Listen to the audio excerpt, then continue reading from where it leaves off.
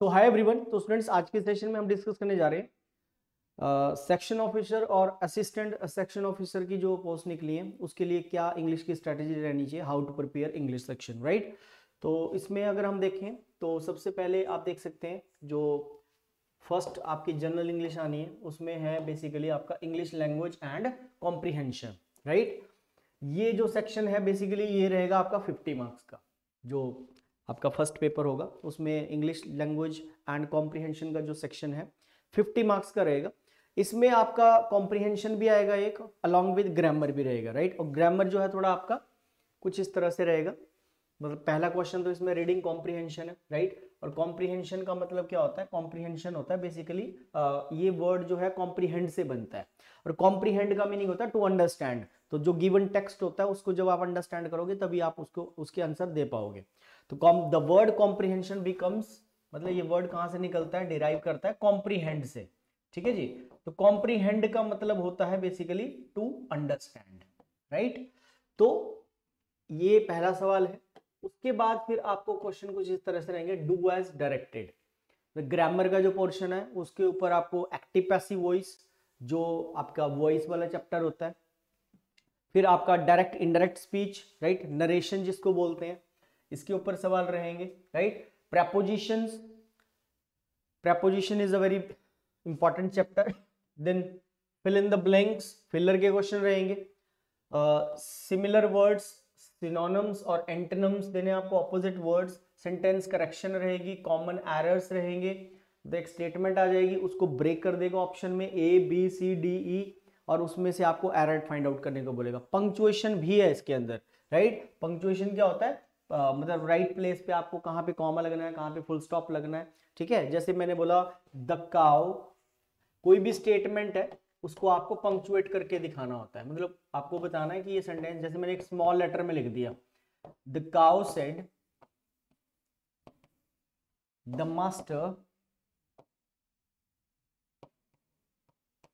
is a useful animal अब इसमें ना तो मैंने कहीं कैपिटल लेटर यूज़ किया है, ना ही मैंने कहीं फुल स्टॉप लगाया आपको इसको पंक्चुएट करना है सेंटेंस को। अब अगर हम इसकी ऐसे हिंदी बनाएँगे, तब तो ये तो लॉजिकल हो जाएगा। द काउ सेड काउ तो कभी बोलती नहीं है। लेकिन हमें कुछ ऐसा करना पड़ेगा, कुछ ऐसी प्लेस पे हमें कॉमे को पुट करना पड़ेगा कि इसका मीनिंग बिल्कुल एग्जैक्ट आएगा, वो सही आएगा। अब इसका जो राइट पंक्चुएशन है, वो कुछ इस तरह से फ़र्स्ट लेटर कैपिटल होगा द काउ यहाँ कॉमा अब कॉमा क्या करता है? बेसिकली पॉज देता है तो यही पंक्चुएशन होते हैं। सो द काउ किसने कहा? ये जाएगा basically inverted comma the cow said the master क्योंकि यहाँ पे मैं जब कॉमा लगा दिया तो मैंने पॉज देना है। The cow said the master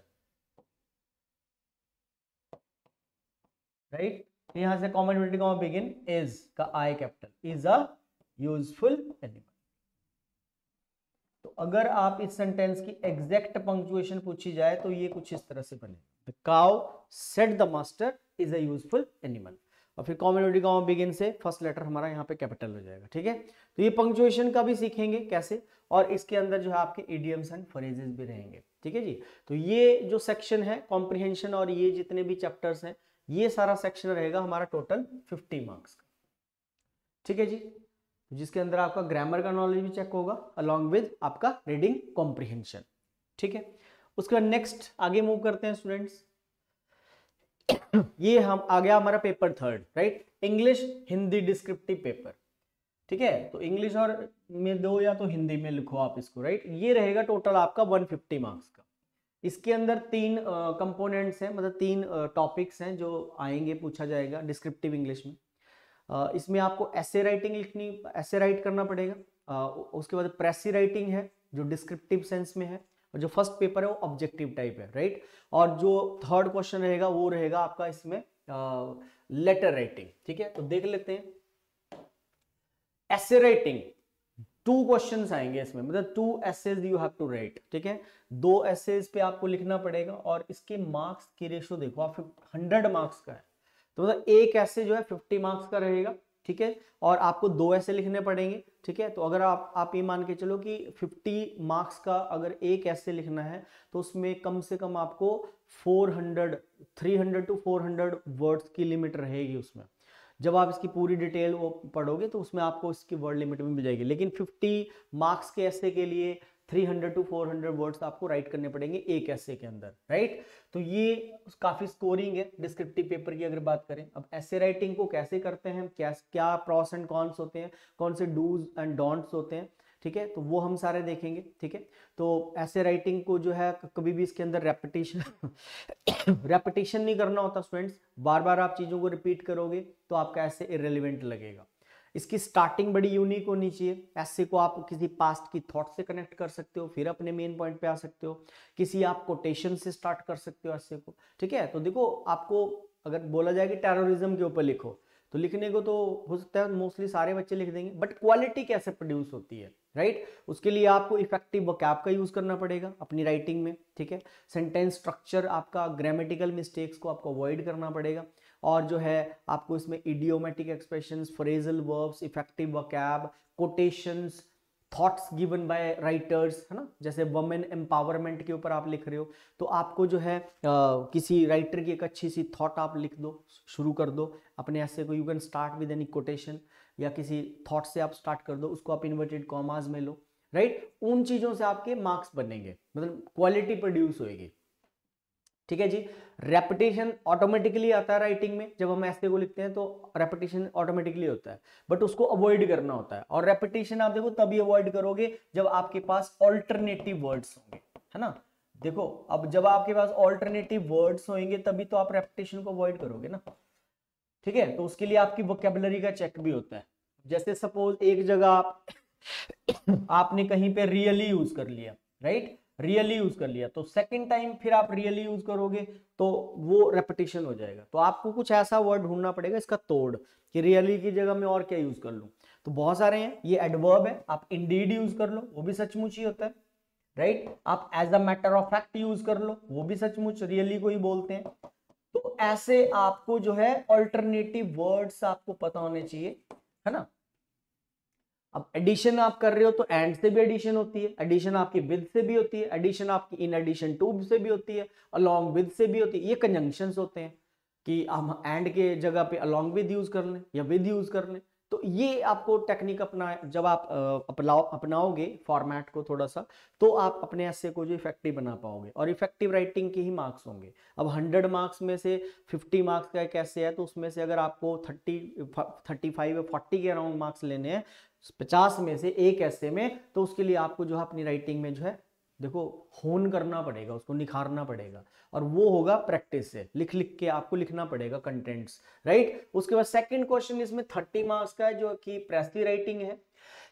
तो प्रेसी राइटिंग का एक क्वेश्चन आएगा स्टूडेंट राइट और प्रेसी राइटिंग होता है कि जो भी हमें गिवन टेक्स्ट है जो भी पैराग्राफ आपको पेपर में आएगा, उसको आपको शॉर्ट में लिखना पड़ेगा, ठीक है? वन थर्ड करके प्रेसी को लिखना होता है। इसका भी एक टिपिकल फॉर्मेट होता है कि precis writing is always written in third person अगर पैराग्राफ के अंदर वो फ़र्स्ट पर्सन आई का यूज़ कर रहा है, या पैराग्राफ में वो सेकंड पर्सन यू का यूज़ कर रहा है तो फिर इसके अंदर जो है आपको आई और यू को ही में लिखना पड़ेगा। मतलब उस आय का आपको ही लिखना पड़ेगा। उस आय का आप दे में लिखोगे। He she they third person होते हैं तो प्रेस राइटिंग हमेशा थर्ड पर्सन में लिखी जाती है। राइट? और प्रेसी राइटिंग में आप जो है बेसिकली इसमें थर्ड पर्सन का यूज़ करना है, साथ में इसमें इंडायरेक्ट स्पीच या पैसिव वॉइस का भी यूज़ कर सकते हो तो वो भी आप कर यहाँ पे अप्लाई करना पड़ता है हमें। राइट? right? और प्रेसी राइटिंग में आपको सबसे पहले सुटेबल कैप्शन जो टाइटल होता है, वो ढूंढना होता है। है ना? जैसे आपने पैराग्राफ को रीड करा तो उसका सुटेबल टाइटल आपको लिखना पड़ेगा। देखो समटाइम्स क्या होता है कि जो सी का एग्ज़ाम होता है, उसमें उन्होंने टाइटल को मैंडेटरी वो इंपॉर्टेंस नहीं देता। तो अगर उन्होंने लिखा है कि टाइटल मतलब लिखा है कि make precise writing of this particular passage अगर उसमें लिखा गया है लाइन गिवन है कि टाइटल इज़ नॉट मैंडेटरी तब तो मत लिखो। बट देखो, जैसे हमारी बॉडी है, इसके अंदर एक आत्मा है सोल है तो जो प्रेसी राइटिंग होती है, उसकी सोल उसका टाइटल होता है। तो अगर सिंपली लिखा गया है कि make precise writing precis writing लिखो, ठीक है वन थर्ड करके तो आपको टाइटल लिख के आना है। हाँ अगर उसने डायरेक्शन में लिखा है कि टाइटल इज़ नॉट नीडेड तो मत लिखो। लेकिन टाइटल इसका बेस होता है टाइटल लिखना पड़ता है। तो आपको एक रेलिवेंट टाइटल निकाल लिखना है। और जैसे देखो, आप कोई मेल डालते हो, है ना? जब हम कोई मेल डालते हैं स्टूडेंट तो हम उसमें इंपॉर्टेंट पॉइंट्स लिखते हैं ना? तो आपको उस पैसेज जो आप पढ़ोगे ना, उसके अंदर कुछ आपको ऐसा दिखेगा जो इरेलीवेंट होता है। मतलब जो इरेलीवेंट कंटेंट होता है, वो नहीं लिखना होता हमें। और थोड़ा सा उसको चेंज करना होता है। अब ऐसा नहीं करना होता कि एक लाइन ऊपर से उठा ली, एक मिडल से कॉपी मार ली, एक नीचे से कॉपी कर ली तो आपकी प्रेस बनेगी। तो ज़ीरो मार्क्स मिलेगा आपको। थोड़ा सा उसमें आपको बदलाव लेके आना पड़ेगा। जैसे कि मैंने बोला पर्सन को चेंज करना पड़ेगा राइट तो ये प्रेसी राइटिंग के अंदर सारा होता है, ठीक है? टाइटल मस्ट होता है इसका। और थोड़ा सा इसको मॉडिफाई करके आपको फ़र्स्ट और सेकंड पर्सन को थर्ड पर्सन में लेके जाना होता है राइट तो तीसरा जो क्वेश्चन है, वो है हमारा ट्वेंटी मार्क्स का। जिसमें एक लेटर आएगा एक एप्लीकेशन आएगी राइटिंग लेटर एप्लीकेशन राइट तो ये आपको थोड़ा लेटर का फॉर्मेट इसमें पता होना चाहिए कि लेटर जो है फॉर्मल लेटर्स भी होते हैं इनफॉर्मल भी होते हैं ऑफिशियल लेटर्स भी होते हैं और कुछ ऐसे होते हैं। और दोनों का जो फॉर्मेट होता है वो बिल्कुल डिफरेंट होता है ठीक है? जो इनफॉर्मल लेटर्स होते हैं जो हम अपने फ्रेंड्स को रिलेटिव्स को लिखते हैं ठीक है? वो उसके थोड़े जो स्टेप्स होते हैं वो थोड़े कम होते हैं उसमें टाइटल नहीं आता सब्जेक्ट नहीं लिखा जाता उसमें राइट right, उसमें सब्जेक्ट नहीं लिखा जाता। लेकिन जो फॉर्मल लेटर्स होते हैं, जो किसी, जो कंप्लेंट लेटर्स होते हैं इंक्वायरी लेटर्स होते हैं राइट तो वो बेसिकली उसके अंदर हमें सब्जेक्ट भी लिखना पड़ता है। तो फॉर्मल लेटर्स का जो स्टेप्स होते हैं, वो टेन टू ट्वेल्व बनते हैं, दस से बारह पॉइंट बन जाते हैं। लेकिन जो इनफॉर्मल लेटर्स होते हैं, उसके सिक्स टू सेवन स्टेप्स होते हैं। ठीक है? तो ये जो पेपर है आपका डिस्क्रिप्टिव ठीक है? तो इसके लिए जो है आपको फर्दर क्लासेस मिल जाएँगी, ठीक है? तो ऐसे कैसे लिखना है इफ़ेक्टिव ऐसे के लिए क्या फॉर्मेट रहेगा? प्रेस की राइटिंग है, वैसे मैंने थोड़ा थोड़ा आपको बता दिया राइट तो ये है टोटल आपका जो एसओ का और एएसओ का है सिलेबस इसके अंदर जो है आपको रिपोर्ट राइटिंग नहीं है डिस्क्रिप्टिव पेपर में। तो पेपर वन 50 मार्क्स का है, जिसके अंदर आपका पूरा grammar do as directed active passive voice narrations ठीक है? फिर आपका प्रेपोजिशंस फिर आपको कॉमन एरर्स ठीक है? वो सारा कुछ था। और सेकेंड पार्ट में है आपका that would be descriptive paper English Hindi descriptive paper third ये है आपका टोटल 150 मार्क्स का राइट तो यही है इसकी, इसके अंदर, इस क्लास में इतना रहेगा। Thank you very much take care see you